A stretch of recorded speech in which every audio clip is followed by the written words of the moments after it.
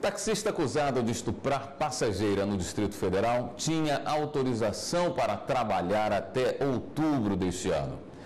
Ele está preso, tem antecedentes criminais e pode pegar no mínimo seis anos de prisão. O Estado também pode ser responsabilizado, responsabilizado por ter concedido autorização para a prestação de serviço. No início do mês, uma mulher foi violentada várias vezes. O suspeito, preso em flagrante em casa, é um taxista que fazia transporte clandestino no aeroporto de Brasília. A vítima conta que ele usou cocaína o tempo todo.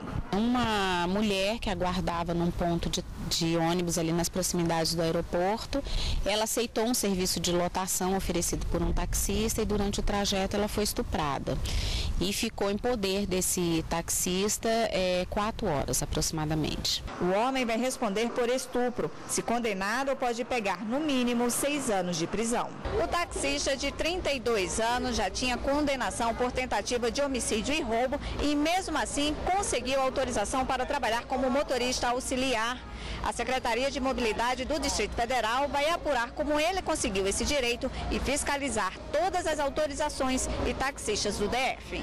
A autorização foi concedida em setembro de 2014 e nós estamos apurando as circunstâncias em que ela foi é, concedida. Para prevenir novos acontecimentos como o da semana passada, nós vamos fazer uma auditoria em todas as permissões para identificar se elas estão sendo concedidas, renovadas, é, segundo os critérios estabelecidos em lei. Cada estado tem autonomia para regular as permissões e autorizações de táxis que poderão circular. A lei tem, traz uma série de requisitos e a pessoa, então, que consegue comprovar o preenchimento desses requisitos, se habilita a receber a permissão para rodar com o táxi naquele estado ou no Distrito Federal. Aqui no Distrito Federal, por exemplo, são 2.400 taxistas e 3.400 autorizações. Para conseguir permissão para dirigir táxi no DF, é preciso cumprir uma lista de exigências. Foi difícil conseguir a permissão para trabalhar como taxista? Foi, que ele pede aquelas documentação tudo. O INSS tem que pagar, comprovar como autônomo.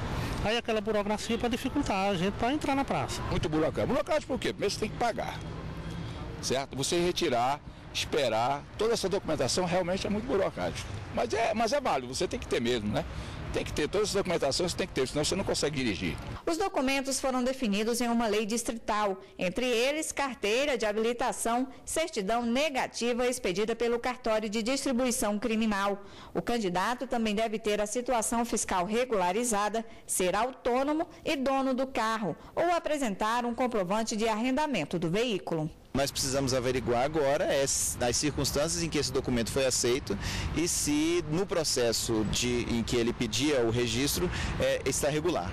Assim como o Estado é quem dita as regras para a circulação dos táxis, também fica responsável pela fiscalização do trabalho.